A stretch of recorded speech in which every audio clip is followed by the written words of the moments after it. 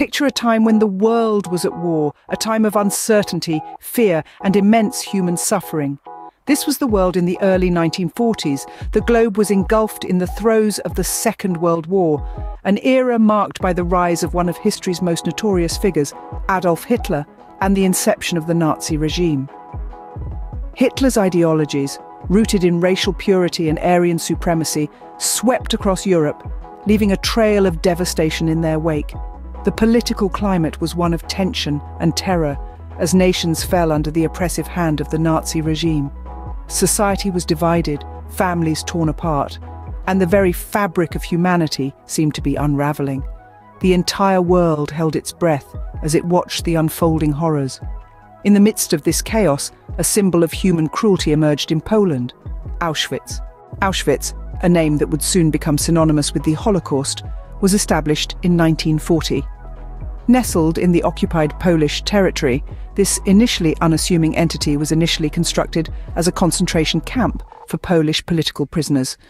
The Nazis, freshly victorious in their invasion of Poland, sought to quell any form of resistance and opposition. Hence, Auschwitz came into existence, a grim manifestation of the Nazis' oppressive regime. However, as the wheels of the Second World War churned further, so did the sinister purpose of Auschwitz. It slowly morphed into something far more horrific a death camp for Jews. The year 1941 marked a pivotal point in the camp's history. This was the juncture when Auschwitz began to expand, not just in size, but in the scale of its atrocities. New camps were built, each one larger and more equipped than the last, to accommodate the surge of Jewish prisoners deported from all corners of Nazi-occupied Europe. Around the same time, a deadly addition was introduced to the camp's arsenal of atrocities, Zyklon B, a cyanide-based pesticide repurposed for mass murder. This lethal substance was used in gas chambers where thousands of innocent lives were extinguished in the most inhumane way possible. The introduction of Zyklon B marked the beginning of the final solution, the Nazis' plan for the systematic extermination of Jews. The transformation of Auschwitz from a concentration camp to a death factory was neither sudden nor accidental. It was a calculated evolution, fueled by the Nazis' relentless pursuit of their twisted ideology.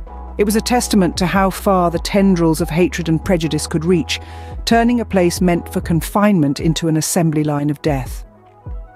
By the end of 1941, Auschwitz had transformed into the largest and most lethal concentration camp in the Nazi Empire. It was no longer just a place for political prisoners. It was the epicenter of the Holocaust, a place where humanity was forgotten and life was cheap. Life in Auschwitz was a living nightmare, a constant struggle for survival. Imagine a place where the sun's rays felt cold, where hope was a luxury few could afford. The nightmare was real for the millions who found themselves in Auschwitz, a name that would become synonymous with the darkest corners of human history. Every day was a battle against the odds. The prisoners, stripped of their identities, were reduced to numbers, treated less than human. They lived in deplorable conditions, crammed into barracks with little to no sanitation. Disease was rampant, and medical care was virtually non-existent. Food was scarce, and a meagre ration of stale bread and thin soup was all that sustained them, barely enough to keep the embers of life flickering. But physical deprivation was only a part of the horror. The prisoners lived under the constant shadow of brutality. Beatings, public executions, and forced labour were everyday realities. The SS guards wielded absolute power, their cruelty only matched by their indifference to human life. Yet even these atrocities paled in comparison to the systematic extermination process that Auschwitz was designed for. The chilling efficiency of the gas chambers, the crematoria working round the clock, the countless lives extinguished, it was a machinery of death unparalleled in its grim efficiency. Every day, trainloads of people arrived, most oblivious to the fate that awaited them. They were subjected to a selection process, a grim sorting of those who could work and those who couldn't. The latter, the old, the young, the frail, were led straight to the gas chambers, their lives snuffed out with chilling efficiency. Auschwitz was not just a camp, it was a meticulously planned death factory. It stands as a stark reminder of the depths to which humanity can sink and the price we pay when we turn a blind eye to the suffering of others. As we delve deeper into the history of Auschwitz, let us not forget the human faces behind the numbers, the stories of those who lived, suffered and perished in this place of unspeakable horror. In the face of such unprecedented horror, there were glimmers of hope and resistance. Auschwitz, despite its grim reality, was not entirely devoid of resistance. The prisoners, stripped of their freedom and dignity, found their own means to fight back, to resist, and to prove their indomitable spirit. One of the most notable acts of defiance was the Sonderkommando uprising in October 1944. The Sonderkommandos were prisoners tasked with the horrendous job of disposing of gas chamber victims. These brave souls knew they were living on borrowed time and so planned a revolt. Using weapons smuggled in from the outside, they managed to blow up one of the crematoriums, causing significant damage and disrupting the camp's operations. But resistance was not always grand and explosive. Many times it was subtle, small, and yet profoundly impactful. There were acts of sabotage, where prisoners would deliberately slow the pace of work or damage the machinery they were forced to operate. There were secret schools and libraries, where knowledge was shared as an act of intellectual defiance against the Nazis' attempts to dehumanize them. There were also daring escapes, some prisoners managed to slip past the guards, navigate the treacherous minefields, and escape into the surrounding forests. Each successful escape was a beacon of hope, a testament to the human will to survive. But perhaps the most profound form of resistance was the preservation of humanity within the camp. The prisoners shared their rations, cared for the sick, and comforted the dying. They wrote poetry, played music, and even fell in love. In a place designed to strip them of their humanity, they clung fiercely to it. Resistance in Auschwitz took many forms, but all shared a common thread of courage and resilience. It was a testament to the strength of the human spirit, a refusal to be broken, and a proof of the power of hope.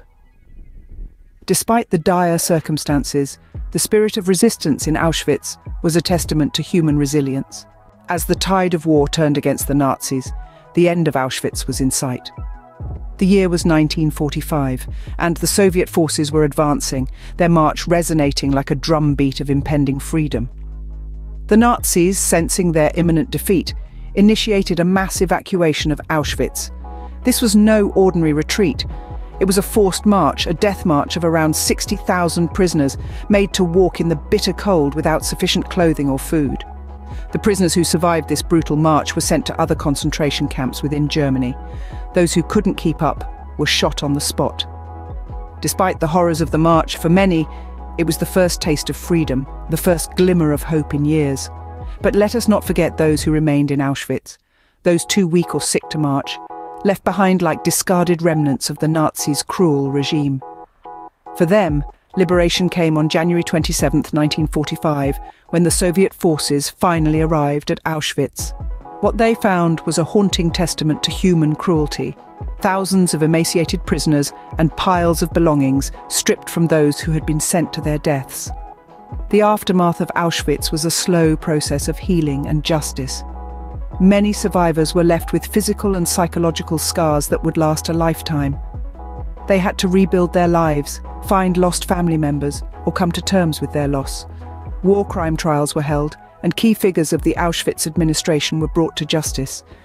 But no amount of punishment could truly compensate for the atrocities committed.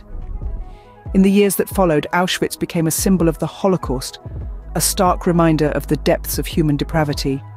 It stands today as a monument to memory, a testament to the resilience of those who survived and a solemn tribute to those who did not. In January 1945, Auschwitz was finally liberated, but the scars it left behind were indelible. Auschwitz today stands as a somber reminder of the depths to which humanity can sink. This haunting relic of a time marred by unparalleled hatred serves not only as a memorial, but also as a symbol of the Holocaust. Its remnants echo the chilling tales of millions whose lives were brutally extinguished and of those who survived, bearing the indelible scars of their ordeal. The lessons Auschwitz imparts are invaluable. It teaches us about the fragility of peace and the devastating consequences of unchecked prejudice and intolerance. It stands as a testament to the resilience of the human spirit, a spirit that refused to be extinguished even in the face of such monstrous adversity. Remembering Auschwitz is not about dwelling in the past, but about learning from it. It's about honouring the memory of the victims, acknowledging the strength of the survivors, and striving to ensure that such atrocities never repeat. Through remembering Auschwitz, we honour the victims and survivors and pledge to prevent such atrocities from happening again.